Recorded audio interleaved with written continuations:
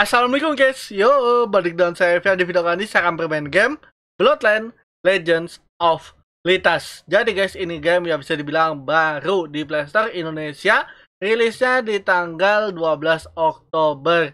Berarti ini game ada ya jalan sebulan rilis, lebih tepatnya dua minggu rilis di Playstore Indonesia. Jadi kalau kalian yang mau main ini game bisa saya ya link di deskripsi, langsung dicek aja guys.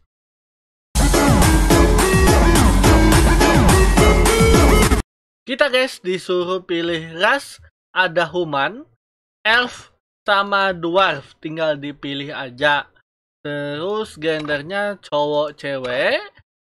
Kalau human ya gini-gini aja ya. Tuh. Mukanya sudah menyesuaikan. Kalau F gitu juga. Tuh. Jadi ini bukan game MMORPG atau RPG apa pokoknya gitu ya yang bisa ngedandanin. Ya disuruh pilih, pilih aja. Yang mana kalian suka. Kalau human itu tuh ciri khas badannya tuh kayak normal-normal aja ya. Tuh. Kalau F itu tuh ramping. Tuh. Dwarf itu tuh nggak tinggi, nggak kependekan juga, dia tengah-tengah Cuman ini badannya rada ngelebar dikit ya, soalnya ciri khas dwarf itu tuh badannya gini, berotot guys. Banyak dagingnya kalau kata orang. Saya ambil elf aja. Gendernya cewek. Eh uh, aja deh. Lebih menjiwain aja. Saya ambil yang ini. Nama Lisa Chan. Oke. Langsung konfirmasi. At the dawn of time. Of the dawn of time. of darkness. Oh, pertempuran followed, my Dewi. champions would bring Dewi kan god kan, bukan Dewi kan? Darkness And itu kan bukan kegelapan kan, kayak raja kegelapan gitu atau dewi kegelapan gitu kah? Soalnya di sini ada yang kayak tanduk kambing juga nih. Ini musuh nih.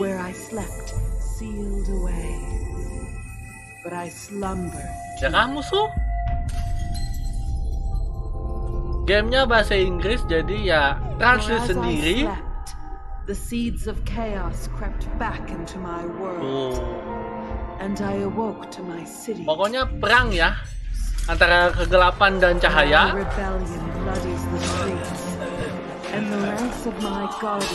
Tuh. Kayak tanduk kambing ya, karena ciri khasnya iblis gitu.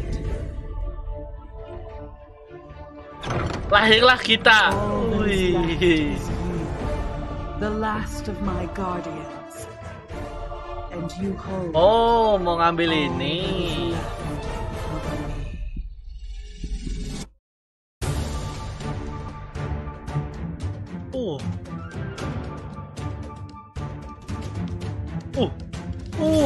Uh, nahan dwarf ya. Dwarf tipe tanker. Tuh. Dibantu sama sword carrier ya atau magic yang bisa apa api sama es itu ya. Sorce.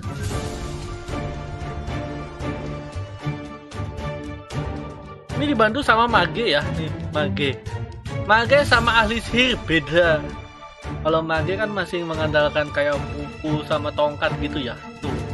Kalau ahli sihir tuh dia langsung main ngadu mekanik aja. Tinggal elemennya aja apa ya? Misalnya elemen kegelapan bisa, api bisa, air bisa, habis apa lagi? Pokoknya yang ada di ele- elemen ya. Damage-nya sih nggak ngotak 999 karena ini masih awal-awal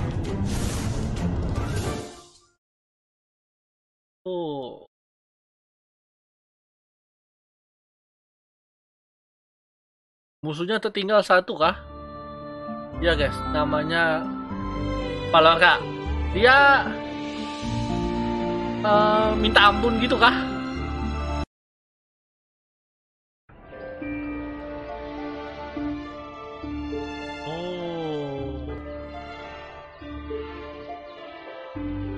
not hold me back.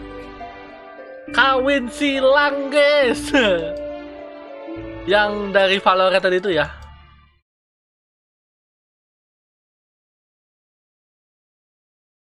Ini kita. Ini elf.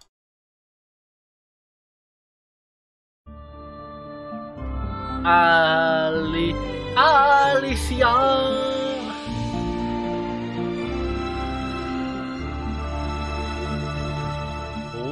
Kerajaannya banyak ya. Maksudnya kayak fitur-fiturnya gitu.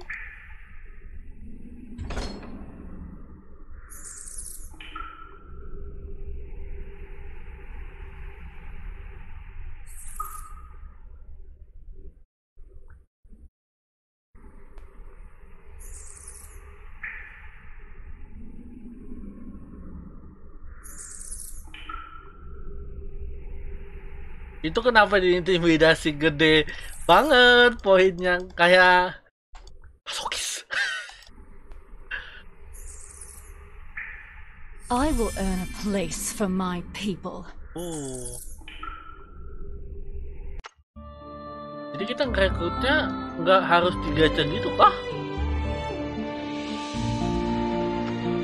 Buat gamenya ya coba aja langsung ya guys. Karena ini menurut gue cukup unik juga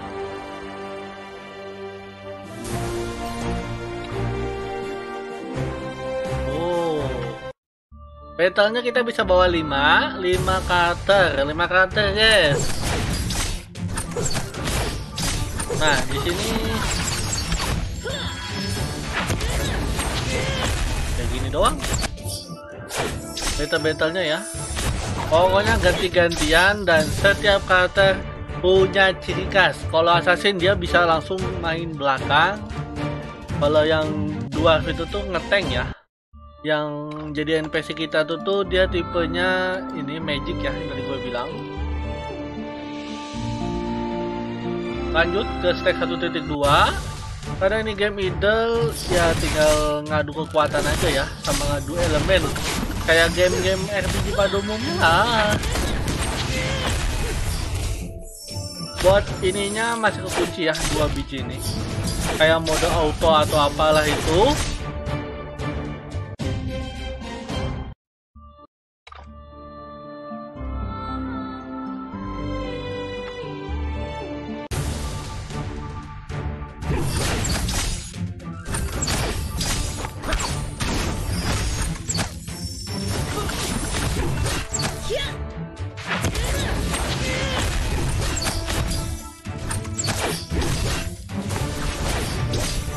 sini mantapnya juga kalau battle nggak harus ganti-gantian, jadi langsung ngadu mekanik walaupun full auto kalau saya bilang ya. Lanjut ke karakter kita. Oh, naikkan level aja. Like the like, and like the like. Ah, di sini ada apa? Oh, special starter pack, hadiah awalan. Di sini ada apa? Summoning Circle 1.6, Exploration 1.15, District 1.10, Combination 1.8 dan masih banyak ya. Tuh. Tinggal dilihat aja ka- kalau mau enaknya ya main aja langsung. Free top up dapat dia ini. Ya kah? Ya guys, selama tiga hari manusia serigala gitu. Au. Au. Ini misi login. Ya kan login? Login sama misi. Ya login misi ini. Selama tujuh hari berturut hadiahnya. Wow. Kalau ini notice oh. Total top up dong. Ini shopnya ya? Tuh total top up. Lanjut. Kita komen lagi ke quest ke quest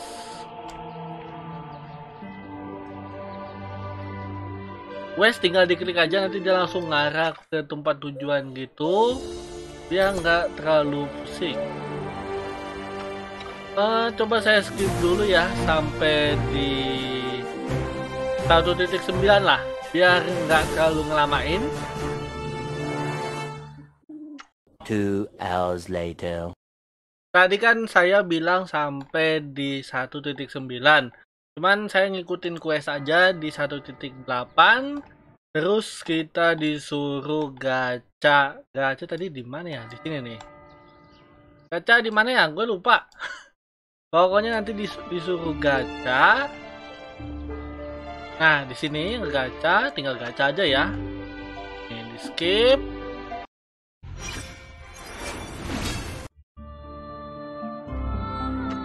Gak gue lihat lagi. Nah. Udah gacha sama disuruh meharem. Ngeharem. Ngeharemnya di sini. Disuruh pilih ya. Laki-laki yang mau diajak ke harem. Jadi gender awalan itu menentukan. Kalau cowok lebih bagus. Dari kemarin gue salah terus.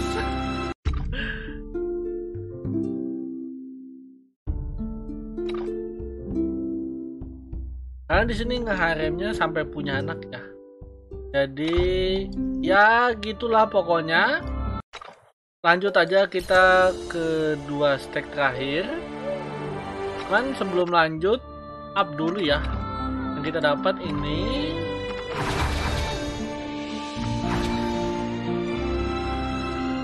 malah ngelag. Tadi kan ngebug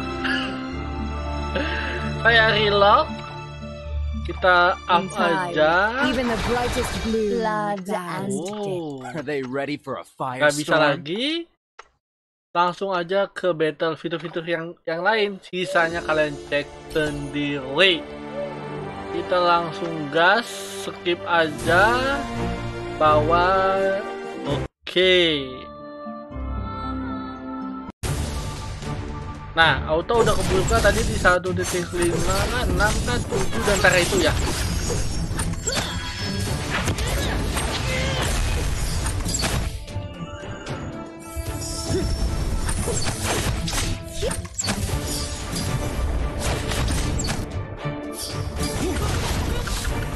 Penentuan kita lawan bos, langsung skip aja. Langsung gas pokoknya. Tanpa dibasa-basi 1.10 habis itu baru kita pindah stack